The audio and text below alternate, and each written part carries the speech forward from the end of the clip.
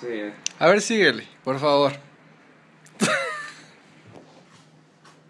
Amo su inocencia, Salud. 24 años. Ella no es inocente, ¿Cómo es sea? malévola. Como sea, yo dejé de hablar con mi prenovia por estar aquí con ustedes. Ay, por supuesto que no. Te tardaste. Yo bajé por Marcos, lo atendí, le. le- Lo atendí, como- ahí sí. Lo fingí como el Ah, bien. Ay, por supuesto. Le abrí la puerta del auto. Eh, le dije, estacionate bien, mira, hasta acá y así y así. Pues cerró yo y pues padre. Me porté decente. Eso solo porque vi una bolsita con regalos, así que No seas ni chis- bello. Ah, mira, te- te voy a enseñar que quiero abrir mi bolsita. A ver, Eso grábalo porque quiero abrir la bolsita que el Marquitos me trajo de Chile. No, La verdad se fue rayada, ¿eh?